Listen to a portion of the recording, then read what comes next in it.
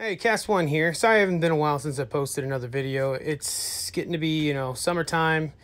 Spring just passed. It's getting into summer. Um, I'm going fishing more, and I'm very busy with rod building and, and repairs. So, um, that being that said, I'll make a quick video for you guys. Uh, I'm going to show you guys how to make a uh, guide measuring um, uh, stick for your to measure your guides. Uh, what you're going to need is an adhesive uh, measuring measuring tape. Um, this came off of Amazon. This is about mm, seven bucks, I think. Get a six footer um, and a pole. Now this pole is is not six feet, but if you're placing guides at 72 feet, um, yeah, that's going to be uh, that's that's a big that's a hell of a stick right there, hell of a blank. Anyway, um, so what I'm going to do is I'm going to cut um, using a little table saw here. Uh, it's not cut, it's not set very high, and I'm going to run this through, and I'm going to cut a groove into the blank. All right, let me get that done. Um, you can use a table saw, you can use a router table, or I guess you could use a Dremel tool. It's just going to take you a little longer. Um, let me get to it and get back All to it. All right, so we cut a groove down the middle of my um, curtain rod dowel. And I already drilled two pre pre-drilled two holes right here. And I marked it and drilled the matching holes on this piece of plastic.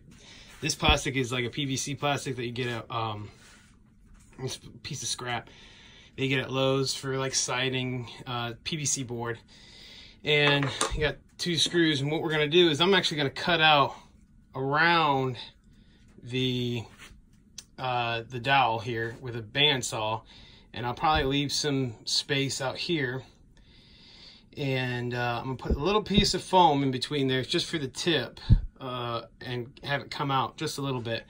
And the foam I'll use is just some scrap uh, EVA foam that I'll just cut to fit in there perfect and so that the tip will go on and then um, uh, and, oh, you'll need some felt, so we're, and some spray adhesive.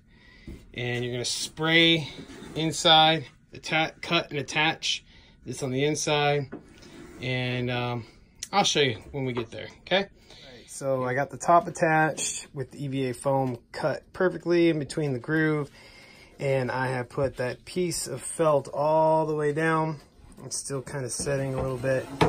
Um, the best way I figured to do it with spray adhesive other than like a brush adhesive, like contact cement or whatnot, is you take your flathead screwdriver, spray it in there, go a little bit at a time, and then just kind of fit it in there and it'll fit in there just nice. Uh, next is um, put the uh, um, measuring tape on. And how we're going to do that is we will start uh, right here at one because this is where the tip's going to go into and run it down. We got the the uh, the measuring tape all attached, and now we're uh, we just cut off the extra end, and um, now we're just gonna see how she does. Bring it up to the rock shop test her out. Back in the shop, and uh, you know the main reason why I did this. Um, this guide placement ruler thing um, was because I do use the Mudhole track and it works great. Uh, but you know, every once in a while it does, I, I feel, I feel like I'm going to scratch the blank by putting it in the track here, laying across. And plus I got to move all my tools and stuff. Uh, now I don't do it 100%. I also um, do the right thing and I do static uh, deflection um, also, but that's another video. Um, but a lot of people rely on these um, CRB uh, measurements that they already do, and, and, and MHX does their own measurements too on guide placement that's already done for you. So this is a easy way to um, set up your your guides. Now how it works is it's super easy is this is a uh, Mag Bass uh, seven foot three. Uh, I think it's MB uh, 873 in metallic red. And I have it in my guide tool, guide placement tool, I guess.